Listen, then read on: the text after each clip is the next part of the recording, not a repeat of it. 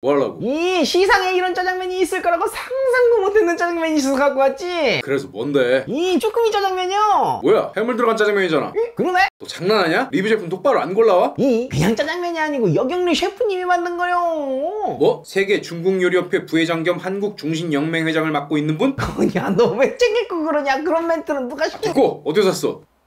시가 이상해 우선. 현대백화점. 얼마야? 이 7,700원. 특징이 뭐야? 이 여경래 셰프 짜장 소스에 불맛 나는 쭈꾸미 들었디야. 어떻게 먹어? 이 만들기 전에 쭈꾸미를 물에서 15분 해동하고 중탕으로 짜장 소스 4, 5분 해동하고 팬에 식용유 두르고 쭈꾸미를 중약 불에서 1분 볶고 강불에서 40초 볶고 끓는 면에 1분 면 삶고 걸려서 잔물에 담그고 그릇에다가 면 소스 쭈꾸미 손으로 담궈서 먹으면 된디야. 근데 어차피 비빌 걸 왜그 순으로 담으라는 거야? 에이 설명서에 써있으니까 그러지 내가 그거 먹어봐.